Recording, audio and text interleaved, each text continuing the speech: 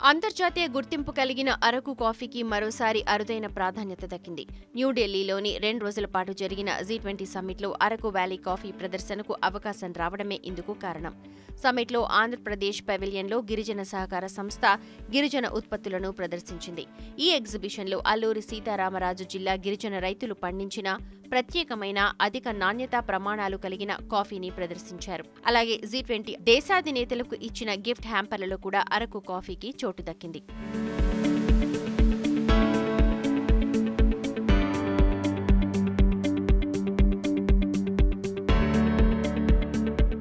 ఉమ్మడి విశాఖ జిల్లాలో అద్భుతమైన అటవీ ప్రాంతం మన్యం ఏజెన్సీలో అరుదైన కాఫీ సాగు జరుగుతోంది.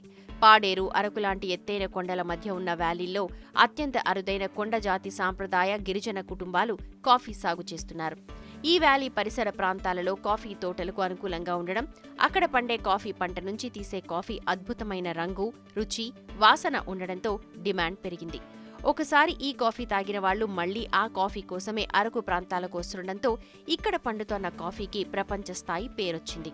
విశాఖ మన్యంలో సాధారణంగా పోడు వ్యవసాయం ఎక్కువ. దీంతో వాళ్ళ జీవితాలలో మార్పు కోసం ఆంధ్రప్రదేశ్ అటవీ శాఖ పంతొమ్మిది వందల అరవైలో విశాఖ జిల్లాలోని రిజర్వ్ అటవీ ప్రాంతంలో కాఫీ పంట సాగుకు అనుమతిచ్చి ప్రోత్సహించింది. దాంతో గిరిజనుల ద్వారా కాఫీ తోటల పెంపకంలో గిరిజన సహకార సంస్థ కృషి ఎంతో ఉంది.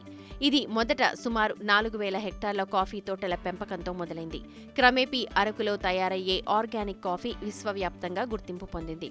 అలా ప్రారంభమైన కాఫీ తోటలు ఇప్పుడు లక్షన్నర ఎకరాల వరకు విస్తరించడం విశేషం.